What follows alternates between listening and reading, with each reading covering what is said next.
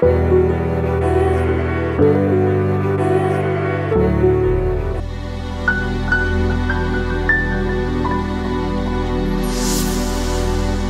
this is Michele Knight. This is the astrological update for Taurus for the week starting the 23rd of January. A lot going on this week. You might feel a little bit emotional on the 24th when the Moon and Saturn are conjunct in your primal sector, squaring Venus and Chiron in your outgoing sector. So basically, you are looking at ways to express your freedom, but there may be some primal emotions or other people's kind of view of, of what it is if you're truly free. And part of you wants to be free to connect to people. But if you're a typical Taurus, it may be that you've cooked your own goose, as we say in England, because part of you likes security, may even like to be a little bit possessive or likes loyalty, and you like to know what you're doing and, and you like to have your routines. And you know, you've created that and it's great. But all of a sudden, you're feeling a bit freedom loving. You're feeling that you want to change. You might be mixing with new people. And it could be that some of the people that you have those routines with are now threatened by your sudden desire for freedom. So have a little bit of compassion and work things out. Whenever Chiron's involved, it's always a deep soul healing. And certainly, you'll be meeting people that have a very big impact on you.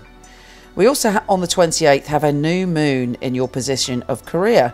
There's big changes coming for you around your career, and you're opening up to all sorts of kind of ideas about what that means and where you can go with it. And, and um, in a way, the, energetically, it's very good because you feel like you've changed and you don't know why you've changed, or perhaps there's been a change that's been forced upon you. But either way, it does not matter because you're feeling free as we go into to 2017.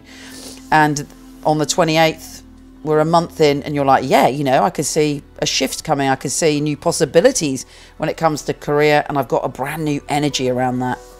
Now, Mars is entering a position for you also on that day, which is well, it's a little bit tricky because it makes you kind of a bit daydreamy, makes you go within, it makes you try and work things out, makes you very thoughtful rather than acting.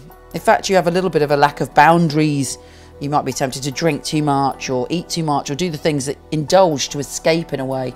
You feel like sort of um, thinking and tuning in spiritually to things rather than doing things. And that, well, you know, I wouldn't say it causes you problems because it's a natural cycle, but um, do something with that energy. If you do have a kind of gut feeling, write it down, pay attention to your intuition so that you're making the most of it. Also, a secret may be revealed this week.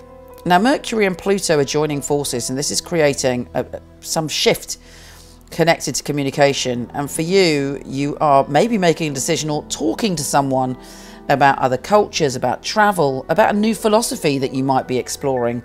But be careful that you don't lay an ultimatum. When Pluto's involved, it often means radical change and radical shift. And the energy this week is all quite deep and intense. So Think about things before you deliver an ultimatum. Anyway, have a fabulous week. You take care, and I'll speak to you soon. Thanks for listening. And please, if you haven't yet, be great if you could subscribe, share, like, or comment. Take care. See you next week.